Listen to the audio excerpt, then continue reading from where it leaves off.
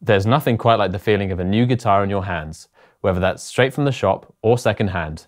However, to get the best from your instrument, you need to make sure that it's set up properly, even if it's new. And in this video, we're going to make sure that you're ready to rock. So, here are five steps to get your guitar set up. Three of them are quite easy and can be done by almost anybody on the regular. Two of them are a bit more complex and are there if you want to take your tinkering that extra step. All you're going to need are some wire cutters, some screwdrivers and some Allen keys. And luckily the Allen keys are already supplied with your guitar, so you've got that step covered. By far the easiest step, and the one you're going to be doing most often, is tuning your guitar. And it's as easy as adjusting the tuning pegs at the top of the guitar. Turning them in a anti-clockwise motion will increase the pitch, and turning them in a clockwise motion will lower the pitch, which is great for drop tunings like rock and metal. You might find that when you've been playing for a while, you'll be able to tune by ear. However, when you're just starting out, this can be difficult to do. Luckily, there are loads of devices on the market like clip-on tuners or tuners you can plug your guitar into that can help you get set up. There are even free apps you can get on your phone to get you into tune. The most common tuning is Standard E, this gives you access to all the open chords and thousands of songs. Standard E, from top to bottom, goes E, B, G, D, A, and E. On this guitar, I've used the clip-on tuner and I can see that the bottom E string is too sharp. So what I'm going to do is take it down past E, then back up into E. You always want to go up with your tuning rather than down because going up keeps the string in tension and helps reduce tuning slipping. You also don't want to strike the string too hard because striking it too hard can make the pitch distort. Broken strings. It's a pain we all must live through. And even on new guitars, you might want to swap out the factory set for some of your own preferred strings. And periodically, it's a great idea to change them anyway, just to keep your guitar sounding fresh.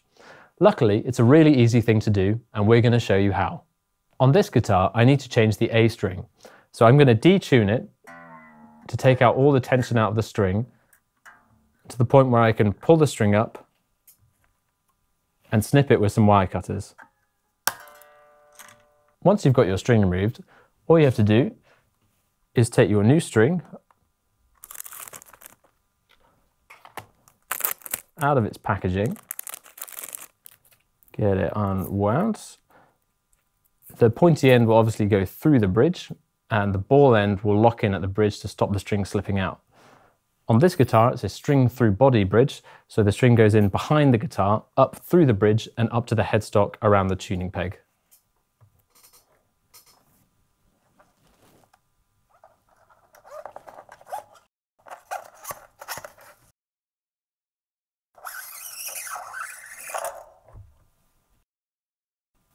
Once you've got the string through the bridge, you just feed it up to the headstock and wrap it around the tuning peg. You're going to wrap it around once and try and keep it as close to the base as possible before feeding it through the hole in the tuning peg.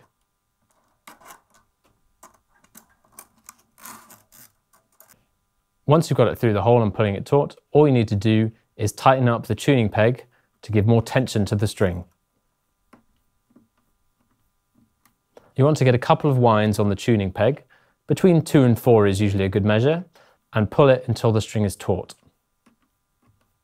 Once it gets tighter, you want to make sure that it's sat in the saddle of the bridge and in the nut slot at the top of the guitar. If it's not sat in one of these, you can simply slacken the string off, get it into place, and then tighten it up. Once it's in place, you'll be able to then cut the excess string off and tune it up. Next up is adjusting the pickup height. Adjusting the pickup height can have a massive impact on your amplified tone because having a higher pickup will lead to a more fiery output, great for rock and metal. A lower position pickup will lead to a cleaner sound, which is just great for jazz and blues styles.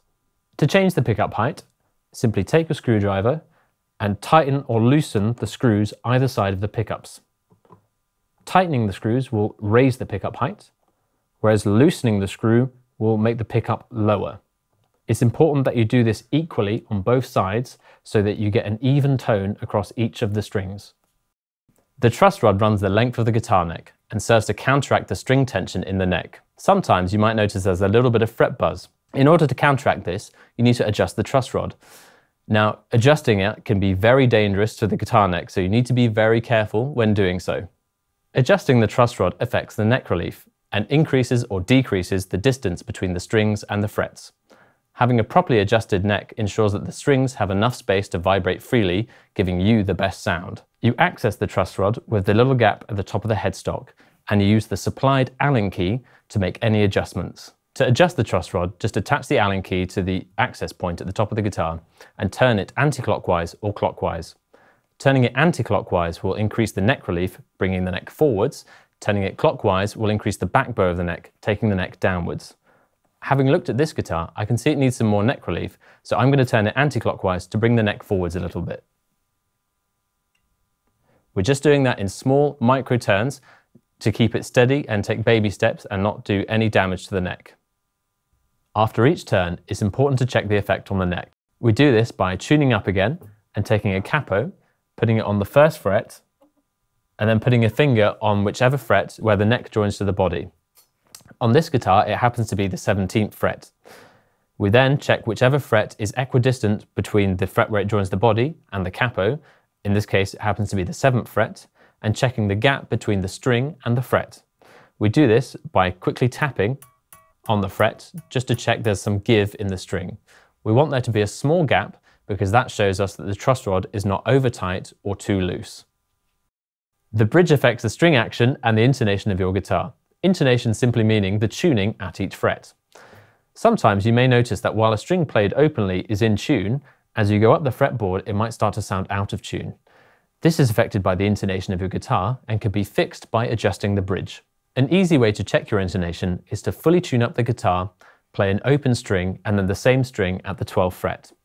If the note at the 12th fret is sharp or flat, then we need to adjust our intonation. We do this by turning the screws and moving the string saddles forwards or backwards. On this guitar, I'm going to play an open D string to check the pitch. I can see that I get a perfect pitch on the open string, but when I play it at the 12th fret, it's a little bit sharp. You need to be careful when pressing down the 12th fret because you don't want to apply too much pressure because that can change the pitch of the string. Because the note at the 12th fret was sharp, I'm going to move the string saddle backwards to lengthen the string and lower the pitch.